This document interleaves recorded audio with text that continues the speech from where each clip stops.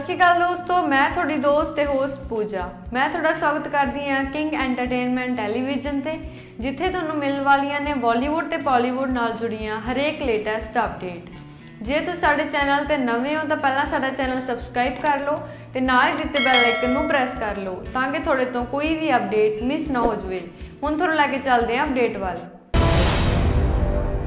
ਇਹ ਅਪਡੇਟ ਸਾਨੂੰ ਦਿੱਤੀ ਹੈ ਪੰਜਾਬੀ ਸਿੰਗਰ ਰੈਮੀ ਵੱਲੋਂ, ਜਿਨ੍ਹਾਂ ਨੇ ਆਪਣਾ ਨਵਾਂ Song ਅਨਾਉਂਸ ਕਰ ਦਿੱਤਾ ਹੈ, ਜਿਸ ਦਾ ਟਾਈਟਲ ਹੈ ਪਬਜੀ ਜੇ। ਆਪਾਂ ਕ੍ਰੈਡਿਟਸ ਦੀ ਗੱਲ ਕਰੀਏ, ਤਾਂ ਇਸ Song ਨੂੰ ਗਾਇਆ ਗਿਆ ਹੈ ਰੈਮੀ, ਅਫਸਾਨਾ ਖਾਨ ਤੇ ਵੀਤ ਬਲਜੀਤ ਵੱਲੋਂ। ਲਿਰਿਕਸ ਦਿੱਤੇ ਗਏ ਨੇ ਵੀਤ ਬਲਜੀਤ ਵੱਲੋਂ 뮤직 ਦਿੱਤਾ ਗਿਆ ਹੈ ਰਿਕ ਰੋਇਸੀ ਵੱਲੋਂ ਪ੍ਰੋਡਿਊਸ ਕੀਤਾ ਗਿਆ ਹੈ ਸ਼ੁਭਮ ਸ਼ਰਮਾ ਵੱਲੋਂ ਤੇ ਡਾਇਰੈਕਟ ਕੀਤਾ ਗਿਆ ਹੈ ਸ਼ੋਇਬ ਸਿੱਦਕੀ ਵੱਲੋਂ। ਤੇ ਤੁਹਾਨੂੰ ਦੱਸ ਦਈਏ ਕਿ ਇਸ Song ਦੀ ਰਿਲੀਜ਼ਿੰਗ ਡੇਟ ਹਲੇ ਅਨਾਉਂਸ ਨਹੀਂ ਕੀਤੀ ਗਈ ਤੇ ਬਹੁਤ ਜਲਦ ਤੁਹਾਨੂੰ ਇਹ Song ਬਾਉਂਸੀ ਬੀਟਸ ਦੇ ਲੇਬਲ ਅੰਡਰ ਛੇਤੀ ਸੁਣਨ ਨੂੰ ਮਿਲ ਜਾਵੇਗਾ। ਸੋ ਕਿਵੇਂ ਲੱਗੀ ਤੁਹਾਨੂੰ ਸਾਡੀ ਇਹ ਅਪਡੇਟ ਸਾਨੂੰ ਲਾਈਕ ਕਮੈਂਟ ਐਂਡ ਸ਼ੇਅਰ ਕਰਕੇ ਜਰੂਰ ਦੱਸੋ।